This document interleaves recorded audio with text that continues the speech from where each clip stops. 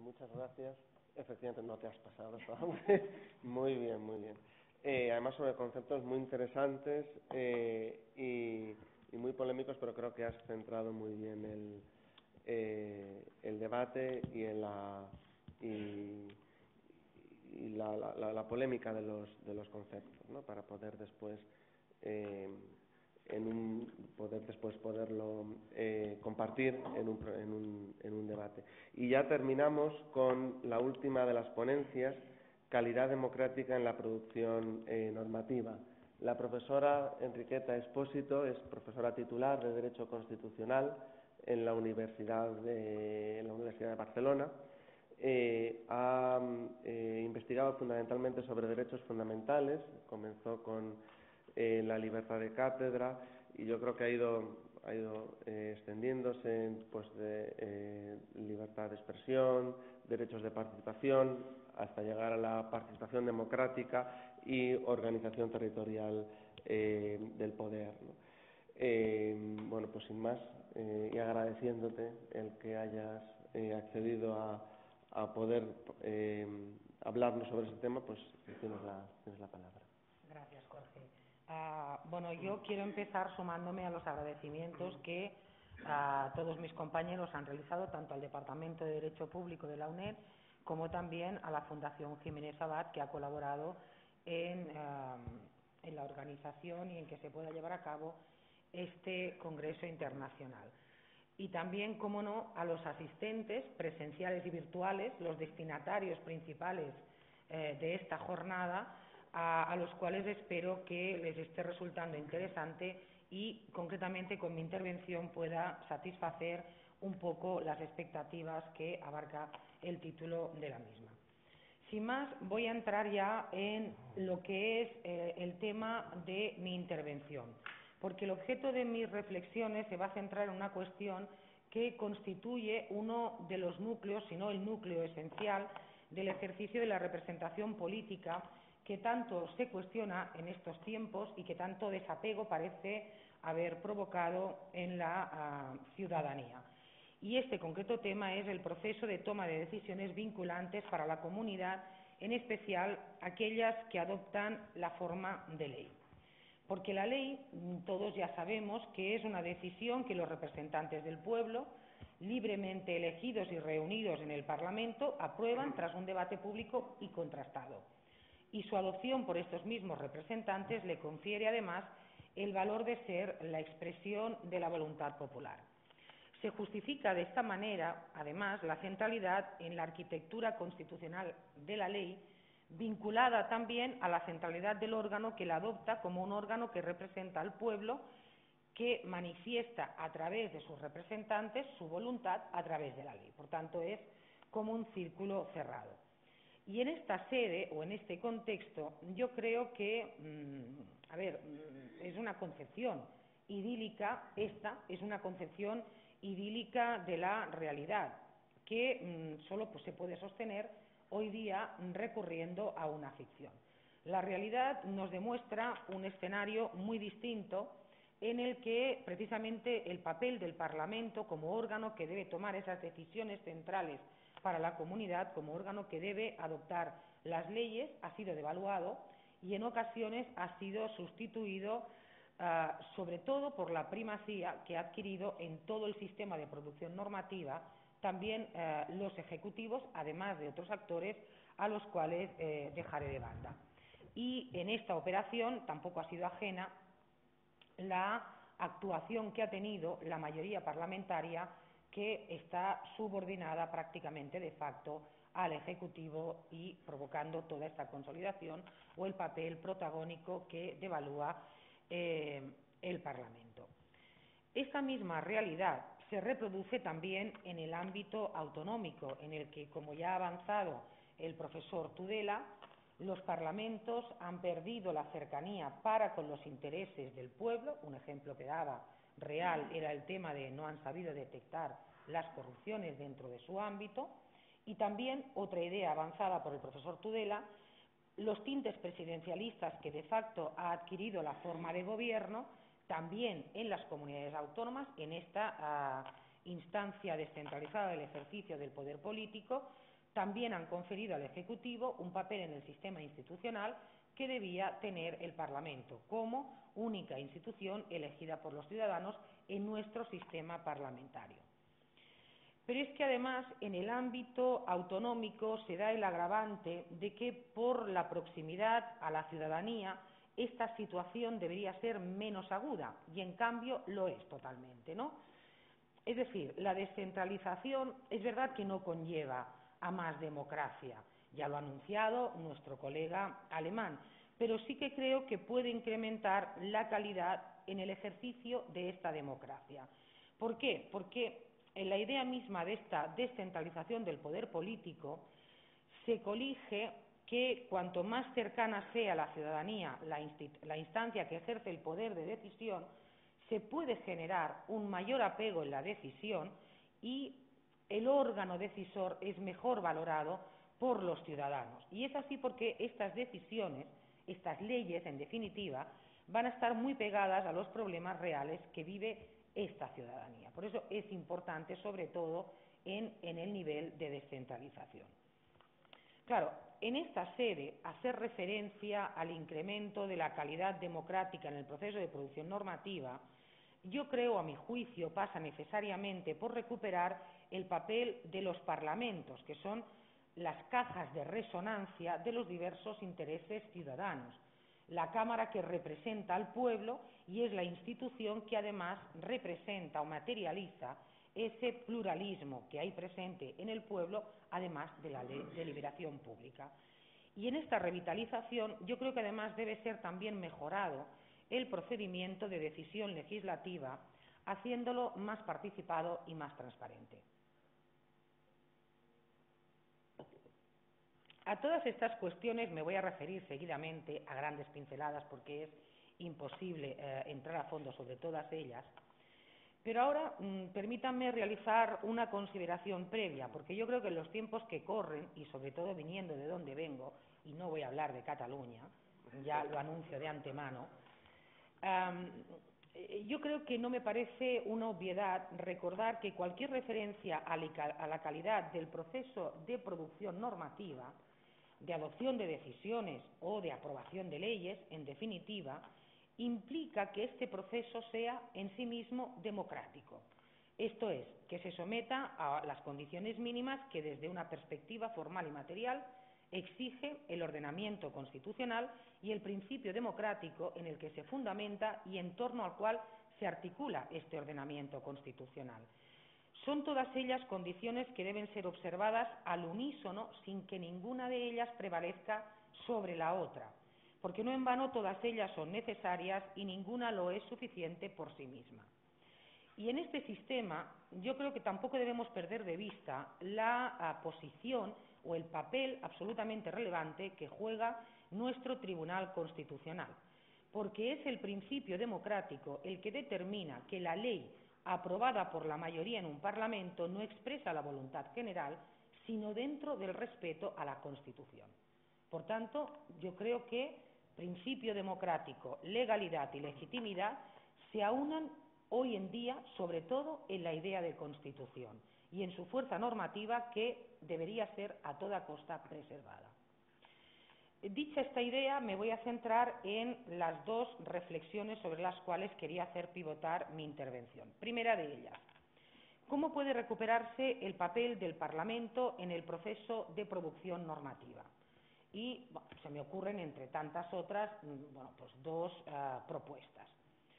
Limitando el alcance de la intervención del Gobierno en el proceso legislativo, en el proceso de adopción de leyes dentro del Parlamento, y, sobre todo, restringiendo el uso de la normativa de urgencia, del decreto ley, vamos a decirlo así, ¿no? Claro, limitar la posición del Ejecutivo en el proceso legislativo es francamente difícil, porque es el ordenamiento parlamentario vigente, además, el que le confiere al Ejecutivo ese papel protagónico. Entonces, si nos fijamos, las facilidades procedimentales con las que se rodea el ejercicio de la iniciativa legislativa por parte del Gobierno, unido al hecho de que la mayoría parlamentaria prácticamente avala todas estas iniciativas, tenemos como conclusión que hoy por hoy todos los parlamentos, desde las Cortes Generales a cualquier parlamento autonómico, el índice o el porcentaje de leyes que se aprueban, en un más del 90%, son mm, propuestas que vienen directamente del Gobierno. Por tanto, esta iniciativa legislativa le confiere una posición muy eh, eh, protagonista, por así decirlo. La decisión de legislar, además, parece ser que queda en manos del propio Gobierno, convirtiéndose las cámaras en una suerte de lo que la doctrina ya ha empezado a llamar una mera cámara de registro o de ratificación de las iniciativas gubernamentales. Pero no solo esta es la iniciativa legislativa, sino que además este ordenamiento parlamentario ha reconocido otras facultades de intervención sobre la tramitación de las iniciativas de otros legitimados eh, en el Parlamento. Por ejemplo, la posibilidad que tiene el Gobierno de oponerse por razones presupuestarias a la tramitación de cualquier iniciativa, ya sea una iniciativa legislativa o ya sea una ah, propuesta de enmienda. es verdad que no puede limitarse esta intervención gubernamental sin alterar la capacidad de dirección política que asume. Debemos ser realistas. Es decir, tanto la iniciativa legislativa como la política presupuestaria son dos concretas manifestaciones del ejercicio de esta función eh, directiva del Gobierno. Ahora bien, que no pueda limitarse no quiere decir que no deban acotarse, al menos en su alcance. Por ejemplo, si tomamos como referencia esta posibilidad de oposición por motivos presupuestarios, ¿por qué no reconocer a los parlamentos la posibilidad de afrontarla en determinadas circunstancias? Cuando falta motivación o cuando esta motivación es infundada, es irracional, arbitraria, etcétera, etcétera, ¿no? Porque, llevado a su último extremo, esta capacidad de intervención del Gobierno supone un, ejercer un veto absoluto sin precedentes, ¿no? De hecho, ya están reaccionando algunos parlamentos de algunas comunidades autónomas que confieren a un órgano como la Mesa en las Cortes Valencianas, la Comisión competente en materia presupuestaria en las Cortes de Aragón, o el Pleno incluso en los parlamentos de Andalucía, de Cantabria o de Asturias, la posibilidad de que puedan resolverse estas discrepancias cuando el Parlamento no está de acuerdo con el criterio de oposición presupuestaria, con la decisión de oposición que manifiesta el Gobierno por criterios presupuestarios, porque entiende pues que la iniciativa puede suponer un aumento de gastos o una disminución de ingresos respecto de lo que ya está establecido en la ley de presupuestos. Ley de presupuestos que es verdad que presenta el Gobierno, pero tampoco podemos olvidar que el Parlamento elabora, discute y, en definitiva, aprueba como una ley. Por tanto, el contenido, la incidencia presupuestaria de estas iniciativas no es una cuestión ajena al ámbito de decisión de las cámaras. Esta posibilidad también es cierto, y no podemos negar, no podemos ser ingenuos, que esta posibilidad de que el Parlamento pueda neutralizar este veto presupuestario puede ser transformada en una mera formalidad si el Gobierno no la utiliza directamente, sino que usa su mayoría parlamentaria para oponerse a cualquier tramitación de una iniciativa de otros sujetos, por ejemplo, votando en contra de la toma en consideración o votando en contra de la tramitación de una enmienda. Y si esto es así, va a ser difícil encajar cualquier propuesta normativa que ofrezca una solución por esta vía de fortalecer al Parlamento. Pero si la posibilidad de intervención del Ejecutivo, en ocasiones en exceso, condiciona el ejercicio de la potestad legislativa en una democracia con separación de poderes, que se atribuye al Parlamento el ejercicio de esta potestad legislativa, la utilización abusiva del decreto ley acaba por sustituir a la institución parlamentaria en el desempeño de esta función. ¿Por qué? Porque traslada el centro de producción normativa del Parlamento, una institución plural, al Gobierno, que normalmente suele ser un órgano monocolor y que decide en base a otros, otros cauces u otras vías no tan públicas como el procedimiento legislativo. El decreto ley, lejos de ser un instrumento normativo que el Gobierno utilice de forma excepcional y por razones de urgencia, todos sabemos que ha acabado siendo utilizado como un instrumento de gobierno ordinario, que incluso se utiliza cuando el Ejecutivo tiene mayorías suficientes como para adoptar esa decisión en el Parlamento revistiéndola de forma de ley. es precisamente en estos casos cuando más se afecta a la calidad democrática del proceso de producción normativa. El decreto ley sustituye a la ley y asume de este modo, y cito Manuel Aragón, el papel de norma ordinaria prácticamente alternativa a la legislación parlamentaria. Claro, si recientemente, como público, dijéramos, nos ha resultado bochornoso la aprobación de dos leyes por el Parlamento catalán sin permitir que los grupos de la oposición pudieran expresarse en su tramitación o en su elaboración siquiera, claro, no debería causarnos, creo yo, menos revuelo que los gobiernos se estén acostumbrando a legislar sin discusión y sin que la oposición pueda defender sus ideas y propuestas en un debate público. A ver, es verdad que en contra de esta conclusión se puede esgrimir, como de hecho se hace, que el Parlamento interviene con posterioridad, de forma decisiva, a través de la convalidación. A ver, ¿la convalidación qué es?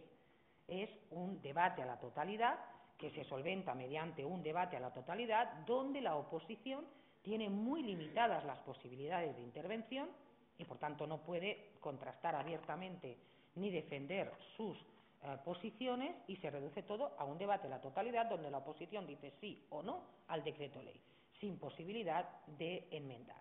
Unido al hecho, además, que la mayoría simple que se exige para la convalidación es la mínima que en nuestro sistema parlamentario se requiere para la investidura del eh, jefe del Ejecutivo, con lo cual ello a qué eh, nos lleva a que mm, prácticamente, salvo en casos muy excepcionales de gobiernos en minoría, todos los decretos leyes acaben convalidándose.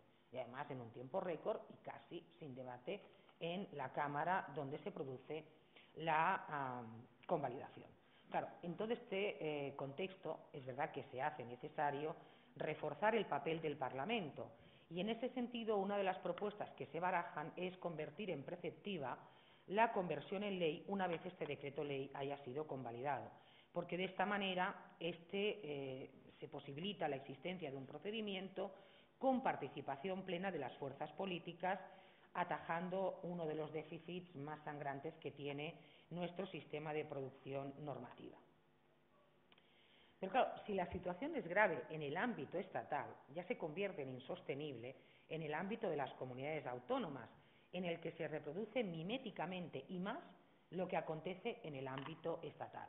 Claro, estamos hablando de aquellas comunidades autónomas cuya reciente reforma de sus estatutos de autonomía han incorporado la figura del decreto ley en sus disposiciones. Por tanto, no existe en todas las comunidades autónomas. A mi juicio, la existencia del decreto ley en las comunidades autónomas era perfectamente prescindible, todo y que soy consciente que el Tribunal Constitucional ha avalado su constitucionalidad. Sin ir más lejos, hace mm, cuatro días, el 22 de septiembre, lo volví a decir en ocasión de un decreto ley de la Comunidad Valenciana que regulaba eh, el tema de la radiotelevisión pública en aquella comunidad autónoma. Por tanto, el tribunal los acepta, no hay cuestionamiento de su constitucionalidad. Ahora, prescindibles totalmente en el ámbito de una comunidad autónoma. ¿Por qué? Pues bueno, pues, que la estructura unicameral de las cámaras autonómicas, unido al hecho de sus dimensiones más bien reducidas, propician la regulación, como de hecho están previstas, la regulación de procedimientos más breves en sus fases, en sus tiempos o en ambas a la vez. Entonces, claro, si esto es así, el decreto ley como norma que permite al gobierno autonómico conseguir sus objetivos políticos de una forma perentoria, pierde todo su sentido. Es más, se incrementa la sensación de que su uso en la comunidad autónoma responde al único propósito de hurtar el debate parlamentario y, lo que es más grave, sin posibilidad, además, de reacción por la minoría parlamentaria, que, a diferencia del ámbito estatal, como todos ustedes saben, no tiene legitimación para acudir al Tribunal Constitucional para impugnar las normas de su propia comunidad autónoma. Claro, el uso abusivo de este decreto ley, además, puede entrar en, una, en un llamado o que yo podía calificar un limbo de impunidad que es especialmente grave, cuando además lo que se pretende no es de alguna manera sortear el debate parlamentario sobre una determinada cuestión, sino directamente eludir el cumplimiento de algunas decisiones judiciales o corregir la voluntad que el Parlamento ha expresado eh, literalmente a través de una ley. Ejemplo del primero, ejemplo recentísimo del primero, lo tenemos en el decreto ley de la Generalitat Valenciana 3-2017 de 1 de septiembre, por el cual se adoptan medidas urgentes en tema de proyectos lingüísticos para este curso académico. Medidas que, dicho sea de paso, habían sido suspendidas cautelarmente por el Tribunal Superior de Justicia de esa comunidad autónoma, cuando esas medidas estaban acogidas en una norma que revestía un ah, carácter reglamentario y no de ley. Ejemplo del segundo, de que el Gobierno pretende corregir la voluntad expresamente manifestada del Parlamento. Lo tenemos también en el también reciente Decreto Balear 3-2017, por la que el Gobierno balear se modifica la ley de turismo vigente desde el año 2012. Claro, en principio podemos pensar, bueno, ¿y entonces este decreto qué tiene de interés? ¿O por qué lo nombramos aquí? Bueno, pues que este decreto se adopta cuatro días después de que el Parlamento balear hubiera reformado la ley del 2012 de turismo balear. ¿Qué es lo que hace el decreto? Pues decir, damos una redacción nueva a un precepto de la ley del 2012. ¿Por qué? Porque si bien la ley del Parlamento Balear del 2017, que reforma la ley 2012, tiene su origen en un proyecto gubernamental, el Parlamento no asumió la redacción que daba a un precepto de la ley del 12 el Gobierno en ese proyecto de ley. Y como no la asume, el Gobierno, cuatro días más tarde, dicta un decreto ley por el cual se incorpora a la ley del 12 la redacción que tenía ese precepto que originariamente él presenta como proyecto de ley. A ver, ya sé que no me he explicado bien, pero en definitiva, que todo aquello que no se consigue en el Parlamento, en la tramitación parlamentaria, el gobierno, ley, el gobierno dicta un decreto de ley cuatro días después y luego también si dice alguna introducción de alguna normativa porque es urgente en materia de vivienda. Hombre, a cuatro días de haber aprobado el Parlamento Balear una ley sobre esa misma materia, hombre, mm, no sé, pero quiere decir que es eh, bastante sospechoso. Pero bueno, mm, si queréis después podemos entrar en el debate. Entremos en la segunda cuestión y vamos adelantando. No solo revitalizar el Parlamento como órgano, poniéndolo en el centro de producción normativa, sino también cómo mejorar el eh, proceso de producción normativa en sede parlamentaria. Claro, alguien mm, pues diría muy fácil, fortaleciendo los tres ejes en los que se basa, en los que se fundamenta este procedimiento, pluralismo, deliberación y publicidad. Bien. También, pero no solo, porque en ocasiones también el seguimiento estricto de este procedimiento en base a estos tres ejes también puede generar distorsiones que afectan negativamente a la calidad de ese proceso de producción normativa. Ya los ha expuesto brevemente el profesor Tudela en esta exposición. Los tiene magníficamente tratados en todas sus obras sobre el parlamentarismo y por tanto no cal que entremos en ello, no, es necesario, perdón, que entremos en ello, ¿no? Pero podríamos citar la práctica de dictar leyes transversales de contenido heterogéneo, las leyes ómnibus, que ahora también parece ser que se ha trasladado a los decretos ley, decretos ley ómnibus, que el Tribunal Constitucional también ha declarado su conformidad, entendiendo que, como en el caso de las leyes, es un problema de técnica legislativa y, por tanto, no es un problema de constitucionalidad, o también puede afectar negativamente la utilización de procedimientos de lectura única para tramitar cuestiones de especial entidad, hemos visto en el ámbito estatal la reforma de la Constitución o incluso la propia reforma de la ley orgánica, o también la introducción a una propuesta de ley en tramitación por la vía de las enmiendas contenidos totalmente ajenos a la misma. Recordemos, sin ir más lejos, cómo se incorpora la condición de aforado de la reina, los reyes eméritos y la princesa heredera en el ordenamiento jurídico, a través de la, de la incorporación de una enmienda que reformaba la ley orgánica del Poder Judicial en una ley orgánica complementaria de la racionalización del sector público y otras medidas de reforma administrativa. Ley orgánica complementaria que se aprueba, curiosamente, dos meses antes de la ley ordinaria a la cual complementa, ¿no? pero precisamente por, los, por las prisas de incorporar estos contenidos. Todo lo anterior, además sazonado con la reciente costumbre del legislador, a la que también ha hecho referencia el profesor Tudela, de incorporar en las leyes contenidos retóricos simplemente no prescriptivos. Claro, aquí ya no es un problema de técnica legislativa, porque, a ver, podemos estar de acuerdo todos en que la calidad democrática exige también la preservación de la naturaleza normativa de una ley, de la naturaleza legal de la propia ley, valga la redundancia, ¿no? Son todos ellos déficits que deberían ser radicados por la misma vía por la que aparecieron, que es por la vía práctica. Pero si entramos ya en materia, yo creo que también existen otras medidas cuya previsión expresa constituyen revulsivos para cambiar la anquilosada dinámica tradicional de proceder en eh, la adopción de normas.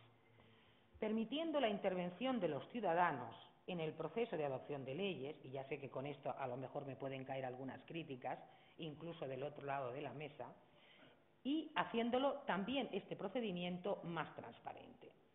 Empecemos por la participación. La participación ciudadana directa no incide en la legitimidad de la ley. Es decir, una ley no es más o menos democrática porque los ciudadanos hayan participado en su adopción, ni mucho menos. La ley es democrática si sigue los procedimientos y no es contraria a la Constitución, como hemos dicho antes, ¿no? Pero yo creo que esa intervención ciudadana sí que puede servir o sí que es un instrumento al propósito de incrementar la calidad en términos democráticos del procedimiento de elaboración de esa ley. ¿Por qué?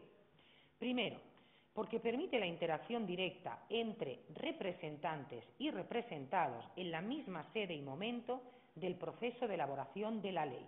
Es decir, los representantes escuchan directamente cuáles son los intereses, la realidad de que viven esos representados o los principales destinatarios de la ley. Evidentemente, después la soberanía les indicará hacer un poco lo que tengan a, bien para la representación y para la consecución del bien común, ¿no?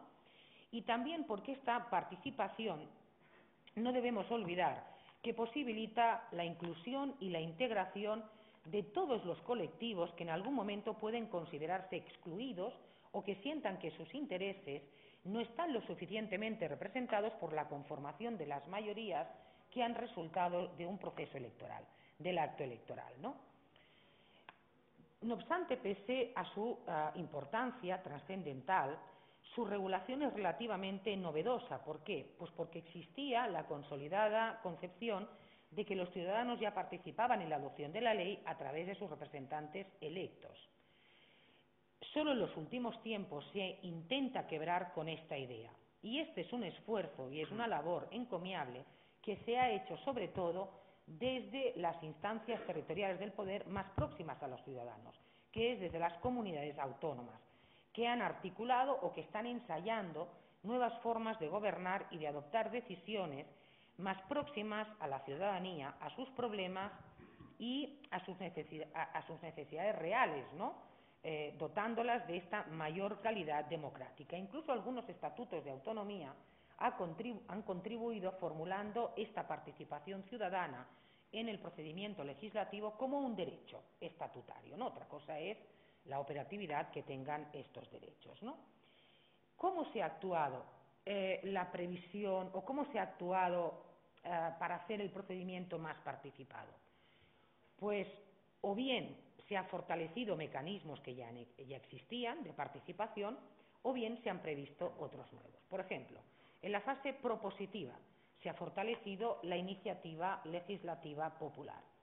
Entonces, al hecho de no considerar caducadas las iniciativas legislativas populares cuando se acaban las legislaturas, cosa que obligaría a los ciudadanos, a la comisión promotora, a volver otra vez a ese calvario procedimental antes de presentar la iniciativa, también se une o se completa con la previsión de hacer obligatoria que una vez admitida esa iniciativa y cumplidos todos los trámites, deba someterse sí o sí a la toma en consideración. Y para ello, muchas comunidades autónomas establecen ya un plazo de tiempo, un mes, dos meses, para los cuales la mesa obligatoriamente debe incluir en el orden del día la toma en consideración de esa iniciativa. Claro, esta previsión amplía no solo la operatividad, sino también transforma el significado de este instituto de participación. Ya no es una facultad de mera propuesta que tiene el ciudadano, sino se convierte en un derecho a que se discutan estas propuestas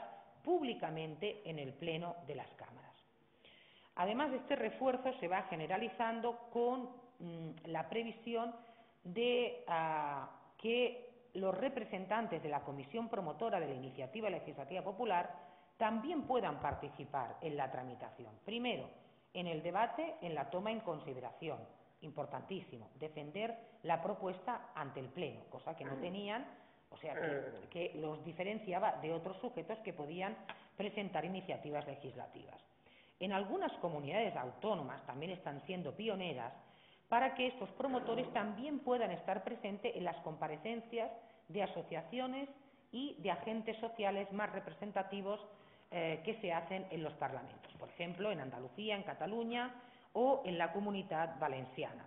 En Cataluña, además, se prevé que este representante pueda asesorar los trabajos de la ponencia y en Cataluña también, junto con la comunidad valenciana, también se contempla que la comisión promotora pueda a su vez también solicitar la comparecencia o la audiencia a determinados grupos sociales o grupos de intereses.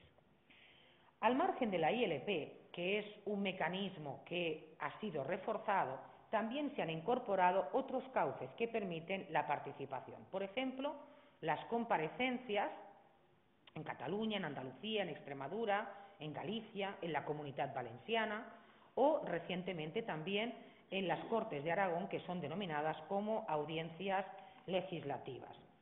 Deben ser solicitadas por diputados o grupos una vez que el Parlamento haya aceptado tramitar esa ah, proposición o proyecto de ley y siempre se dan a asociaciones o colectivos representativos de intereses.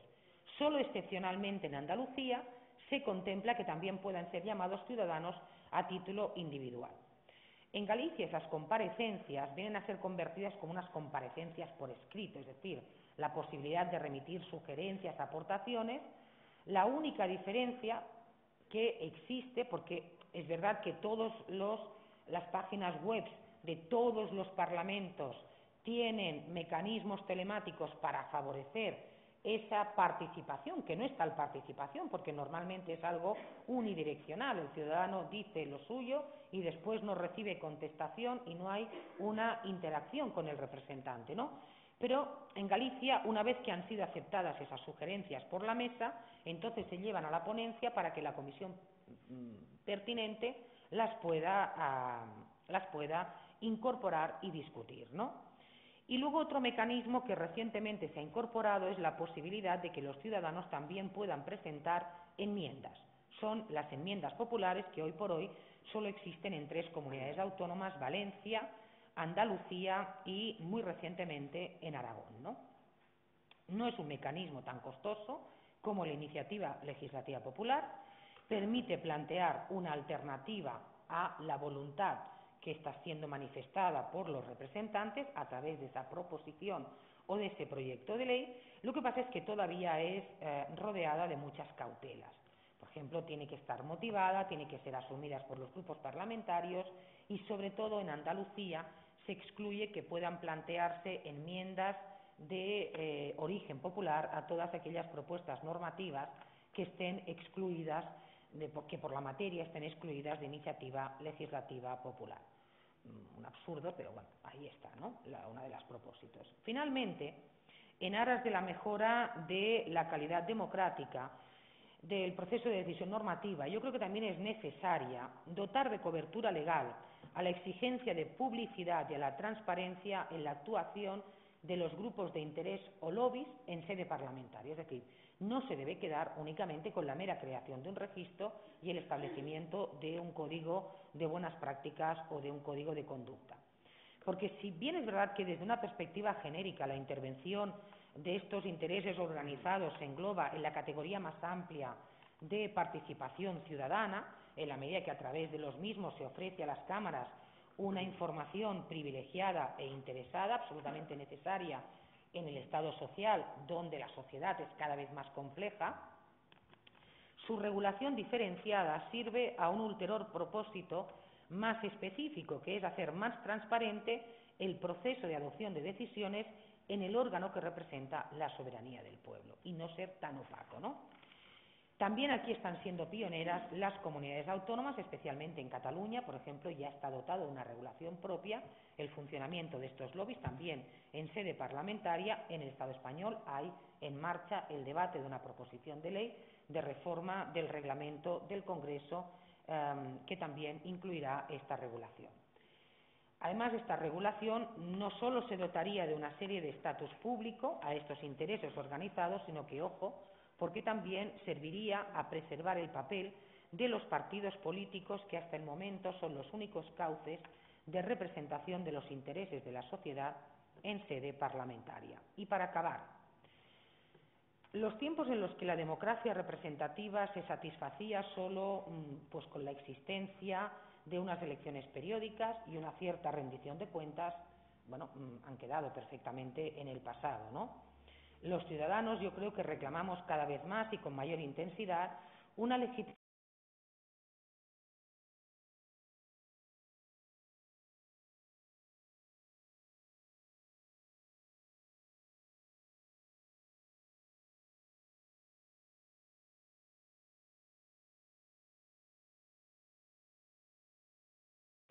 y democracia, porque es en el ámbito del ejercicio del poder más próximo a la ciudadanía en el que se puede llevar a cabo una nueva forma de tomar decisiones y, por tanto, de adoptar normas más dinámica, muy diferente de las tradicionales, pero que también que respondan más y mejor a los problemas y a las necesidades reales de esa sociedad.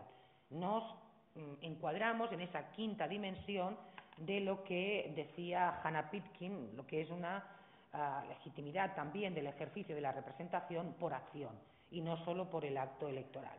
Claro, este es un camino que ya han iniciado muchos parlamentos autonómicos en algunos ámbitos, ya señalado participación, ah, regulación de grupos de intereses, etcétera, etcétera. Ahora bien, yo creo que mm, queda mucho camino por recorrer y sobre todo tener o ser conscientes que en este trayecto no solo puede ser realizado con una mochila llena de modificaciones normativas, exige sobre todo un cambio de actitud de los representantes que sea capaz de erradicar determinadas prácticas y, sobre todo, sobre todo, de ejercer su representación conforme a los intereses de la ciudadanía que los ha elegido y no, en el mejor de los casos, del partido eh, que los ha designado. ¿no? Ah, muchas gracias y perdona si me.